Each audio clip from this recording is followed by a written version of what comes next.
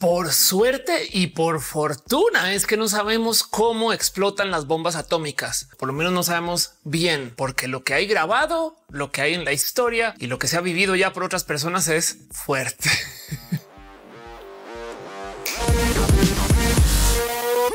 Parece que todo es juego y diversiones acerca de Barbie y Oppenheimer, hasta que los japoneses salen a decir, hey, dejen de hacer bromas acerca de cómo destrozaron mi país hace unos años y cómo todavía estamos viendo las secuelas de eso. Hey, si no lo saben, Japón cambió un chingo después de la caída de la bomba, no solo porque cayó la bomba, sino porque culturalmente hablando, pues no es lo mismo. Literal también el por qué estamos aquí debido a que existen las bombas atómicas es que hay una forma de paz mundial. Suena raro de decir, pero es una filosofía de paz que sí hay muchas personas con suficientes modos de acabarnos, que es totalmente real. Una cosa que se llama destrucción mutual asegurada, que si dos países superpotencias tienen bombas nucleares, entonces pues como esas cosas no se pueden parar, que significa que si automáticamente despega un cohete con bombas nucleares, entonces pues el otro país no le queda más sino responder y entonces en esos 20 minutos en los que se cruzan en el espacio caen los misiles en sus respectivos países y se destrozan y se acaban, lo cual quiere decir que lanzar una bomba nuclear implica destrozar tu propio país, motivo por el cual no se lanzan bombas nucleares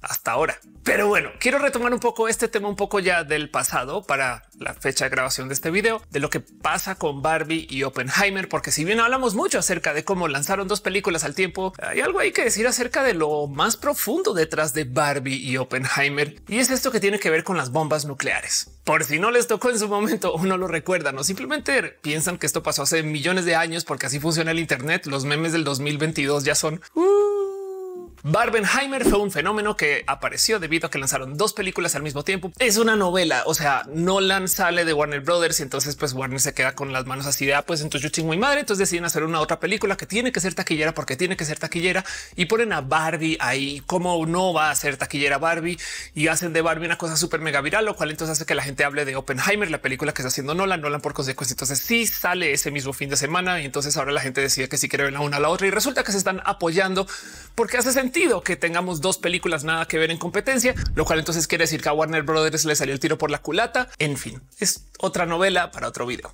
Yo quiero hablar más acerca de el trasfondo de lo que está sucediendo en la historia de estas dos películas, porque detrás de todo y todo no hay tanto tiempo entre la explosión y creación de la bomba nuclear y la creación de Barbie. Y entonces quisiera comenzar por acá. Las bombas nucleares no son broma. No más quiero que vean el área de destrucción de lo que podría ser una bomba nuclear que cae sobre la Ciudad de México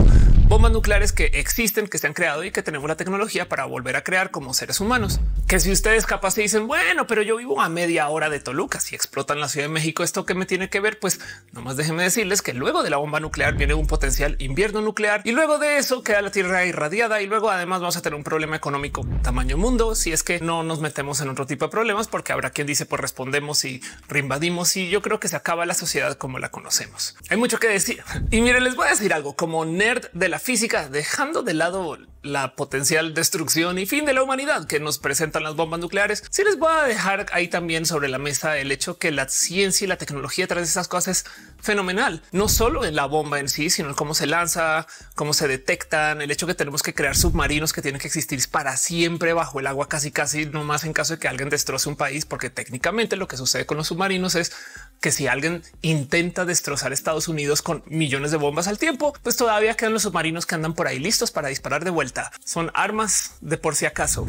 Pero hay algo ahí también que ver desde la nerdez con lo que sucedió con Barbie.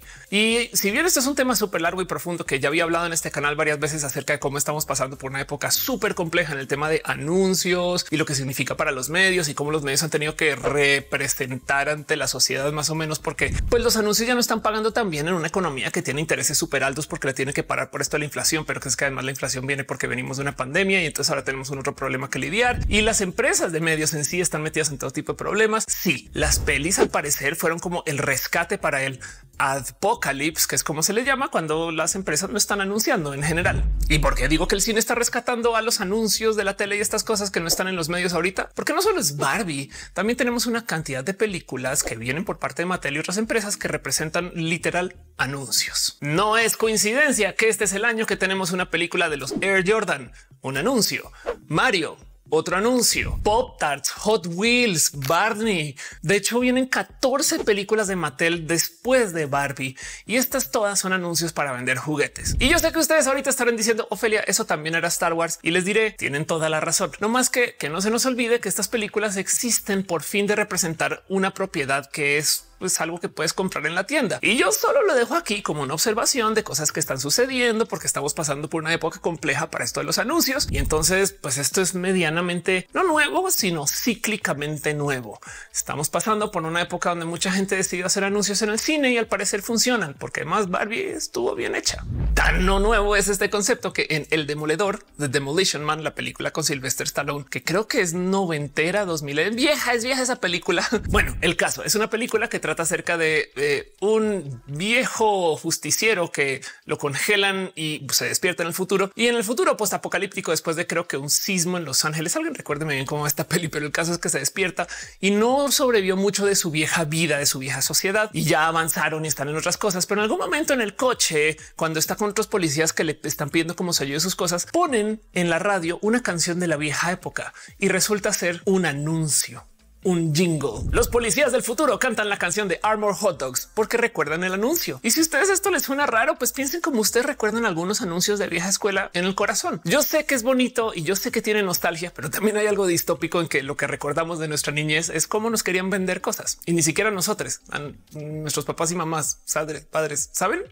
En fin, es un año difícil para esto los anuncios y hay muchas cosas más que se pueden decir acerca de lo que está sucediendo en el momento de la fecha de la grabación de este video. Está el paro que tiene gente que escribe guiones con gente que actúa en estas pelis en el paro y es todo un tema. No me quiero clavar en eso, solamente quiero dejar en dicho que Barbie es una peli que tiene muchas cosas puestas encima que son sumamente importantes acerca del potencial futuro de Hollywood, por lo menos en los próximos años. Y lo interesante de esto es que entonces ha despertado mucho interés, como si Barbie acaso fuera a ser una bomba de película.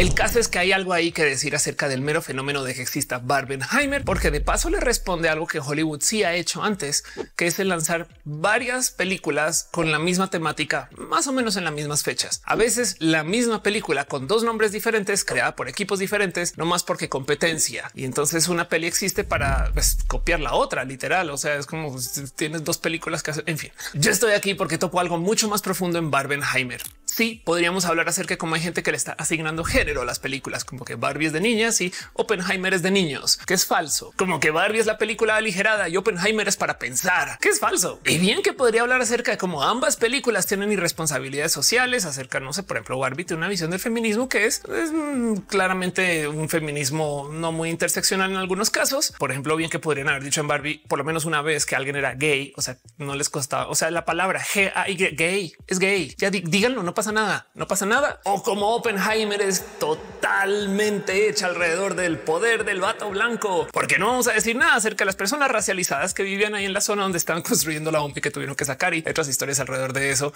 de cómo esa gente todavía la sigue pasando muy mal por las pruebas de la bomba y pues que llegaron los blancos gringos a hacer sus pruebas ahí. Y pues también podríamos hablar acerca de cómo no Nolan escribe mujeres en sus guiones de modos no muy chidos, pero eh, eh, esto no es lo que quiero platicar. Llevo un chingo de tiempo y no puedo llegar al tema. El cuento es así. Oppenheimer se trata acerca de las consecuencias de la bomba nuclear. Y yo vengo aquí a decirles que una de esas consecuencias es Barbie por dos motivos. Motivo número uno, la bomba nuclear le cambió la visión al mundo acerca de nuestra capacidad destructiva, que ya sé, se supone que está en la misión, hacer un dispositivo que explote tanto, tanto que tengan que parar la guerra. Y luego cuando ya lo acabaron de construir, ya no había tanto motivo para hacerlo, pero igual lo vamos a usar dos veces. Eso es Oppenheimer. Lo que no está muy puesto aquí es como el que existe un dispositivo así de destructivo puede cambiar el trasfondo de cómo pensamos acerca de nuestro futuro. Y si ustedes ya ubican la palabra posmo, puede que venga de aquí. Yo sé que hay millones de modos de definir lo que es ser una persona postmodernista y la visión postmodernista del arte o de la historia o del desarrollo de la humanidad, pero ahí les va una propuesta que he escuchado varias veces de varias personas. Y el cuento es que la bomba nuclear nos dijo a nosotros seres humanos que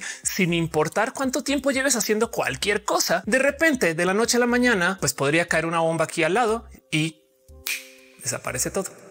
Así es que el tiempo desde que algún loco en Rusia le pique al botón y tu vida y la de tu familia y la de la gente que conoces y la de todo tu trabajo y todo lo que has hecho desaparezca es de 20 minutos. A duras penas vamos a tener tiempo para que nos notifique Twitter y eso sí es que nos notifica, piénsenlo. Entonces tú vas caminando por la calle y de repente entonces pensemos, si somos una sociedad que cree o creía en esto del construir a largo plazo, ¿qué le hace eso a esta mentalidad? Existe un modo de pensamiento que estaba muy instalado hasta antecitos de la bomba nuclear que se llamaba el pensar modernista. Y bien que podemos hablar mucho acerca de cómo las cosas modernas son las que llegaron después de la fábrica o pónganle ustedes la división psicológica de que la quieran poner. La vida modernista nos decía todas estas cosas que nuestros papás y abuelos pues a veces todavía dicen. Y es que quien trabaja más gana más, quien se esfuerza más construye Y sobre todo que las cosas que existen hace mucho tiempo son las que existirán para siempre. Se valoraba que las cosas tuvieran tradición y se valoraba que algo se construyera bien para que dure para siempre. Esto se veía reflejado hasta en la arquitectura. Edificios con arquitectura modernista pueden ser cosas como el Empire State Building, cosas que se construyeron hace no mucho históricamente hablando y que si lo ven nos cuentan esta historia del que todo el mundo arranca en la base y luego si trabajas y te va bien, entonces puedes llegar como a la mitad y puedes ir subiendo y al puro final hay una puntita donde solamente algunas personas muy especiales, muy únicas ahí llegaron allá arriba a ese momento de quien trabaja más gana más, cosa que hoy en día sabemos que de paso no es tan real. Pero por el otro lado, porque cuando llega la bomba nuclear, lo que nos dice como sociedad es ah, qué bueno que Harvard exista desde hace cientos de años, pero igual Harvard como la Universidad Patito de enfrente, Harvard como las universidades Patito, ambas Qué bueno que existe ese monumento de hace mil años que está ya en Europa. Ese monumento y mi obra de arte de barro que yo acabo de hacer aquí.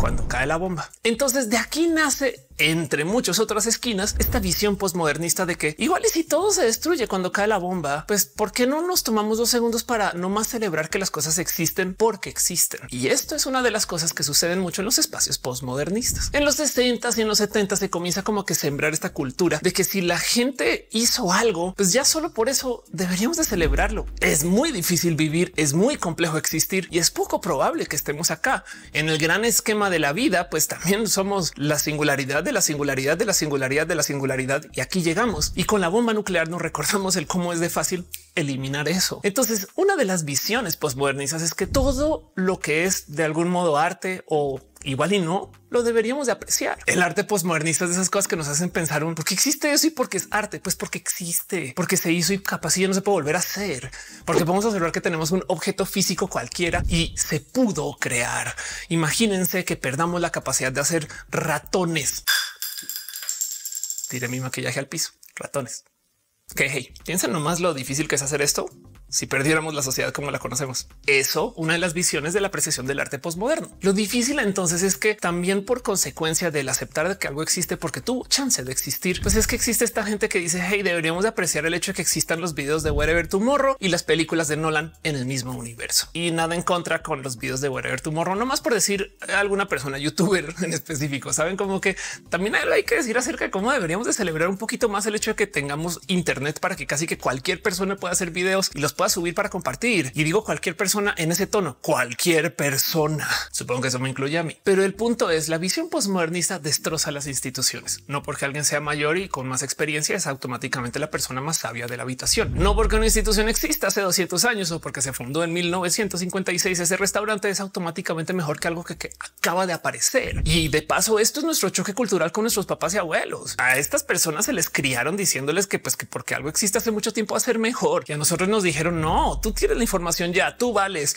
tú puedes desde ceros con las cositas que tienes a la mano. Llega además la era de la computación y nos cambia todo eso. Hay gente que le tocó lidiar con esto del llegar a la oficina y ser la única persona proficiente en computación en una oficina llena de gente que no ha querido usar computadoras para mucho. Y entonces la persona joven que no tiene tanta experiencia es casual, más productiva que quien sea que haya estado desde hace mucho tiempo. Qué raro, se supone que no es así. La gente experta son los y las maestras que llevan décadas haciendo la misma cosa, pero llega alguien con una compu y pues les da clases. Entonces ahora esto también, pues saben, cambia la dinámica y como sea, volvemos al mismo hoyo existencial de pues bueno, bien que puede cambiar toda la dinámica que quieran, pero saben que es más capaz y mientras están viendo este video, pero volvamos a de lo que viene este video. Barbie, si bien no es una respuesta directa a la creación de la bomba nuclear, para mí es una representante de este pensar posmoderno. Barbie puede ser cualquier cosa, porque la idea de lo que enseña Barbie como producto y también de paso como película, proyecto y demás es que cualquier cosa que quiera hacer es válida. En este mundo donde se tiene que valorar a la gente que tiene más experiencia con las carreras que tienen más existencia, con las cosas que se vienen desarrollando desde hace más tiempo del pensar modernista, pues por supuesto que es un caos que alguien diga, hey, sabes que yo creo que no quiero ser abogado, papá, como los abogados de la vieja escuela que aprenden ley romana, sino que yo quiero ser saxofonista y me voy a dedicar al saxofón de por vida. ¿Cómo le ves? Pues eso para alguien postmodernista es de pues bueno, qué bonito que pueda ser saxofonista.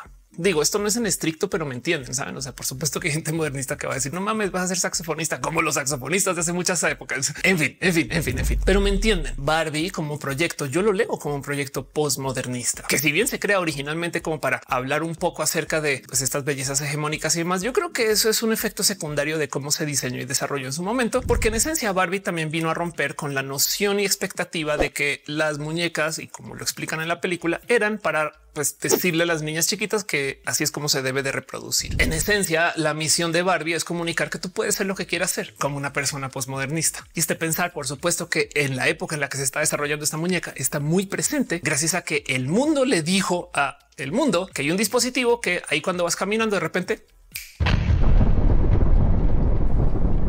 para una persona de pensar extremadamente posmodernista, da la misma pensar en acumular riqueza por seis generaciones, porque para qué da la misma pensar en construir una casa que va a durar para las próximas dos generaciones, porque para qué lo que importa es el aquí y el ahora, donde estoy, quién soy, que puedo hacer lo que quiera. Estos pensares que hoy en día valoramos mucho acerca de cómo nos podemos desarrollar siendo personas transdisciplinarias que aprendemos de todos lados, que hacemos todo tipo de cosas raras, que vemos videos en YouTube y que a veces hasta las noticias nos llegan vía YouTube o vía un podcast podcast y no necesariamente vía una institución de super vieja escuela que nos viene diciendo desde siempre el cómo tenemos que pensar, el nutrirnos en el Internet donde todo el mundo vale lo mismo, donde nos subimos a las redes sociales y en esas redes sociales está Juan, mi perro y Barack Obama. Y entonces esas tres personas y yo incluida tenemos un perfil que se ve más o menos igual. No tiene alguien una casa más grande solo porque lleva acumulando más tiempo. No. Y si bien obviamente esto tiene sus matices y sus otros pensares, hay algo hermoso en cómo sin la bomba es posible que Barbie no haya llegado a existir. Bueno, si lo pensamos así, sin la bomba nuclear es posible que Barbie pues, hubiera sido un producto de otra nacionalidad o bueno, como lo quieran ver. Hay algo curioso hay que decir acerca también de los efectos secundarios culturales de la bomba y es el cómo también Estados Unidos se comenzó a desarrollar como una nación sumamente aspiracional. Pasando la Segunda Guerra Mundial, Europa básicamente le dijo a Estados Unidos, toma, guarda nuestras riquezas, o sea, reservas de oro, y prepárate tú para básicamente poner las cosas en orden, porque hoy en día capaz si ustedes no lo tienen presente, pero esto del nuevo orden mundial que se habla acerca del cambio de llaves de que China ahora va a dirigir el mundo y Estados Unidos no tanto, pues se habla porque alguien lo vivió hace no mucho en lo que Europa le entregó las llaves a Estados Unidos. Es Estados Unidos hiperhegemónico, súper militar. No existía antes de la Segunda Guerra Mundial. Piensen en eso. Y entonces en este mundo de aspiraciones postmoderno, ¿No es eso lo que crea Barbie? Ahí es donde se encuentran las Barbenheimers del mundo. Hey, les dejo este pensar nomás para que se lo lleven ahí como de tarea. ¿En qué en su vida son personas más postmodernistas o aquí y ahoristas? ¿Y en qué son personas más modernistas? La construcción es lo que vale. Hay quien dice que alguien porque lleva muchas décadas de programar es mejor programador. Hay quien dice que quien trabaja más es quien gana más, cosa que de paso es totalmente falsa. Asómense y chequen como la gente que tiene menos acceso a recursos en su vida, siempre la gente que trabaja más. México es el país que más horas trabaja según la OSD dentro de los países del grupo OSD y van y chequen la lista en el otro sentido y es el tercer país que menos gana en la OSD. O sea, es quien más trabaja, quien menos gana. Ahora México no es exactamente un país pobre es muy desigual. México es top 20 de las economías del mundo. Es mucho decir, pero como sea, el punto aquí es que hay algo ahí donde algo se rompió en el cómo se construía el saber después de la bomba nuclear. Bien que podríamos decir que fue después de la guerra mundial, pero la bomba nuclear fueron 30 años fácil de decirle a la gente qué bueno que existes, porque mañana y eso se le mete a la gente en la cabeza. Por eso tenemos este raro mundo que está negociando valores modernistas con valores postmodernistas. Por eso tenemos este mundo que prefiere el punk que el rock de vieja escuela en algunos casos. Vivimos en la era de la deconstrucción por millones de motivos, como que traemos el aquí y el ahora muy puesto. Y yo le doy la bienvenida a esto porque sí, sí es verdad. Hay que celebrar que estamos acá. Y de paso, lo interesante aquí es que podríamos no, porque Donald Trump un día se despertó de malas pulgas o bueno, Joe Biden o Kim Jong-un o Putin. Es que también la gente que ha estado a cargo de las bombas nucleares es la gente más deschavetada de güey. Hay otro lugar donde en mi corazón se unen Barbie y Oppenheimer y es en la construcción del glitter. Para la gente que no lo sabe, el glitter es un producto que se venía buscando como escaso desde hace por lo menos unos años. Resulta que alguien se había percatado que no se conseguía con tanta facilidad. Y si bien esto, muchas personas comenzaron a decir, bueno, es que estamos pasando por el fin de el encierro y la pandemia o estamos pasando por es un raro momento de la distribución, los sistemas de distribución mundiales. Resulta que el Internet, siendo lo que es el Internet, reunió a gente que se sentó a investigar qué era lo que estaba pasando con el glitter, la purpurina, y se dieron cuenta que no solo había escasez, sino que en Estados Unidos hay dos fábricas de glitter, punto, y están en Nueva Jersey, donde se inventó. ¿Qué? Pero si se consigue en todos lados, resulta que solo dos lugares lo fabrican y alguien optó por llamar y preguntar y hacer la investigación. ¿Por qué no hay glitter? ¿Dónde está mi glitter? Para darse cuenta que no le querían dar respuesta porque había algo más. Como una empresa que hace glitter dice cosas como no, no te puedo dar esa información. Pues este no, no podemos hablar de eso. ¿Acaso qué están haciendo con el glitter? ¿Quién lo está comprando? Y comienza entonces una búsqueda en el Internet de dónde está acabando esta cosa. Lugares potenciales que han estado comprando mucho glitter según estas personas que están investigando. Pintura para coches, pintura para barcos, pasta dental o, o crema de dientes o como le digan zapatos, guitarras, todas estas cosas que dicen, bueno, a lo mejor es que hay más, no sé, pinturas que brillan, uñas, alguien por ahí que lo decía, en fin, algo tenía que estar creando esta falta de glitter. Y de modos muy hermosos acabó pasando lo siguiente. Unos youtubers bien cool se dieron la tarea de ir a preguntar a la fábrica para que les rebotaran en la puerta. Pero en estas acabaron hablando con una de las personas ahora socio o pues, hijo del creador del glitter que todavía tiene acceso a la fábrica, pero que su familia pues no le habla mucho, pero que dice sabes que vamos a platicar de este tema y les lleva a su casa luego de intentar entrarles a la fábrica para darse cuenta que no les dejan ir. Y en su casa cuenta la historia de cómo fue que se inventó el glitter y resulta que el glitter es un producto que sobra luego del proceso de manufactura de piezas para armas nucleares. A ver, el cuento es este. ¿Cómo se hace el glitter? Necesitas máquinas específicas que hagan cortes específicos sobre filme, plásticos, algunos minerales y demás. Y resulta que cuando están construyendo la bomba de Oppenheimer necesitaban unas arandelas que estaban hechas de un material mineral que si mal no recuerdo es mica que tienen que cortar con estas máquinas. Y cuando lo cortan, todo como el, por así decirlo, acerrín y las piecitas que van cayendo, pues no está acerrín porque no es madera, pero me entienden, todo eso que cae brilla. Entonces lo meten en bolsitas y guardémoslo por ahí. Luego vemos qué hacemos con eso. Y ahí está de la bomba nuclear sale el glitter. Y hey, no más por dejarlo dicho también, al parecer el glitter o la técnica de cortado de glitter se usa para cortar ciertos metales muy específicos, que son los que se usan también en el chaff, que es una técnica antirradar que ocupan los aviones de guerra para en caso que digamos que les disparan un misil, entonces pues, sueltan mucho como metal, como en polvito y eso distrae el misil y a lo mejor no golpea el avión, cosa que podemos ver también en Top Gun. Pero el punto es de la bomba nuclear sale el glitter y en mi corazón ahí es donde se unen Barbie y Oppenheimer. Vean el video de YouTube completo, chútense la historia porque es muy interesante entender el cómo fue que la humanidad se inventó el glitter, porque la purpurina luego acaba en millones de lugares más. Es parte de la cultura LGBT y también ahora es parte de la cultura feminista. Y hay algo ahí acerca de cómo el glitter yo creo que le alegra la vida a todo el mundo. Barbie, Oppenheimer, la bomba, todo se relaciona. Esto es súper interesante si lo piensan, pero ahí se los dejo de regalo. ¿Vieron las dos películas? Hey, si todavía tienen chance en algún lugar de ver sobre todo Oppenheimer, en un cine grande, vaya, por favor. Esta película capaz si no la vamos a ver mucho más en cine porque de verdad que tiene sus cosas no clavadas, sino lo que viene.